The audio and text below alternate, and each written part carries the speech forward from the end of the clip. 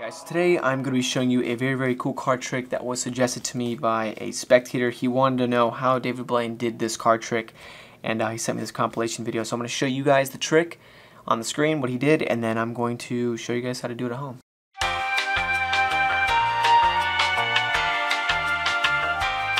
Alright, so right off the bat, I knew what he was doing. Um, this trick isn't going to impress any card magician, but it will impress anybody else you meet. So what you'll need to do is get yourself an invisible deck. So what you can do is go to any magic shop, or you go online, or you can support the channel, go down really quick and easy, click the Amazon link, and you can buy it from there if you want to support the channel. If not, you can do whatever else you want. But you do need an invisible deck. Alright, so I'm to go ahead and expose to you what this looks like and give you a few tips and tricks so this way when you do get the deck, you're not kind of clueless as to what's going on. So basically you pull the deck out of the box and on one side you're going to have all the evens, uh, 26 even faces, and on the other side you're going to have 26 odd cards and they're each paired with each other. So I'll show you what I mean. Basically, when you spread the deck like this, you're only showing 26 faces and these are only the even cards.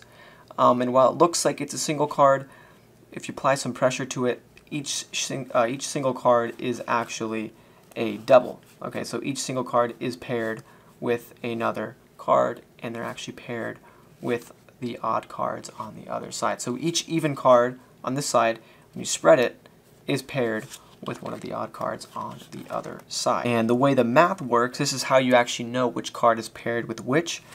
Um, all you have to do is subtract their card's value from 13. So whatever card they pick, just subtract that from 13 and then you have to remember that spades are going to be paired with hearts and diamonds are paired with clubs. So once I show you, this is pretty simple. So let's say we go through the deck, and in this case, we're going to know that the six of diamonds is paired with the seven of clubs, right? So if you do 13 minus 6, that equals 7, and you know that diamonds are paired with the clubs. So if you spread this, this is going to be the 7 of clubs on the other side.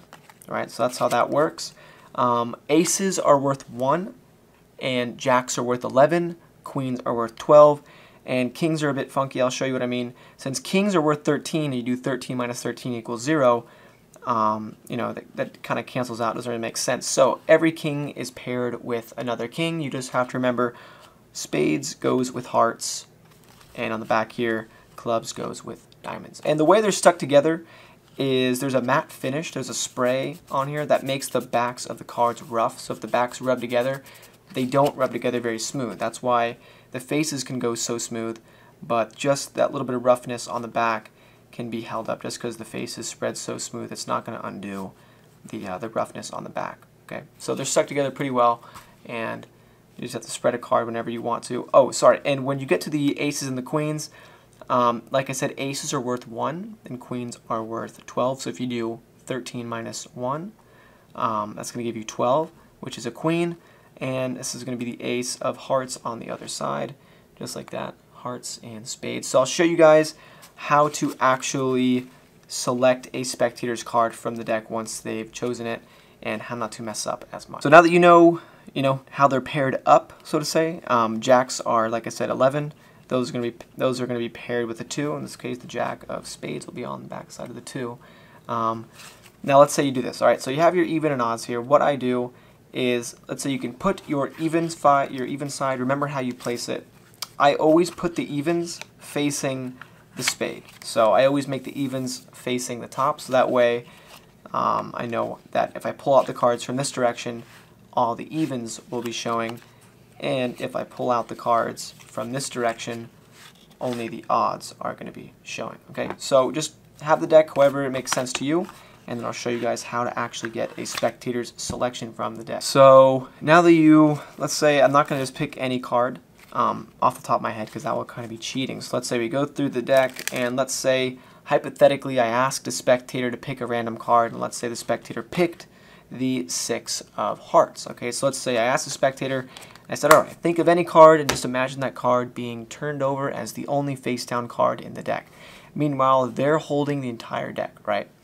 Now here's what you have to remember. Each, uh, each even's paired with an odd. So let's say they said this six of hearts, I think it was. what you want to do is you don't want to pull the deck up from the even side because then the six of hearts isn't going to be face down. So you take the deck like this and you say, okay, all right, I know the odds are showing from this side. I'm going to go ahead and open the deck like this.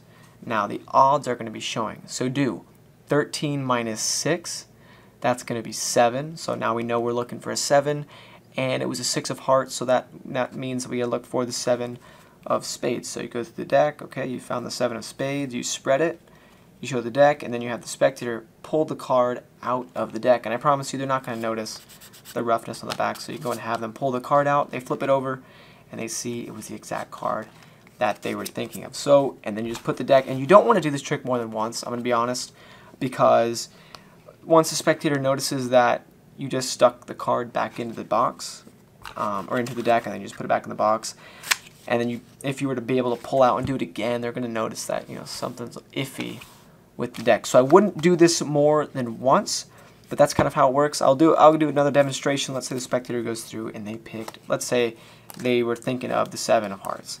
Okay so in this case good. We have an we have an odd card. So you're thinking okay 13 minus 7 equals 6 okay and hearts gets paired up with spades. So 7 of hearts means these 6 of spades. So you go through and you go ahead and look for these six of spades just like that. You can show the card. I believe, yeah, this is the same exact card you picked earlier. But anyways, seven of hearts goes like that, and that is basically the trick. One tip I have for doing this effect, um, you can set the deck up either way.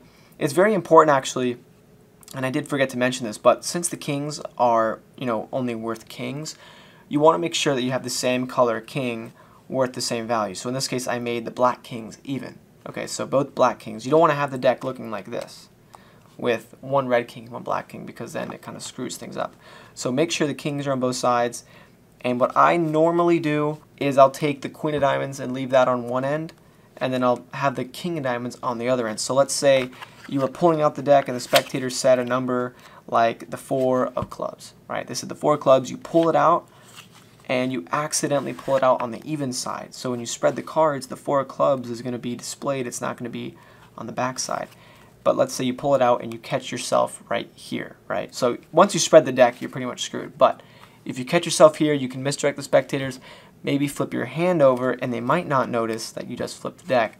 And then you're able to go to the uh, nine of diamonds and actually spread out to their four of clubs, just like that. So that is the trick. It's an invisible deck, guys. It is super super simple, and it's always helpful to have with you anywhere you go. You will impress anybody you meet. And like I said, if you want to support the channel, don't forget to click the link down below. And um, as always, guys, thanks for watching.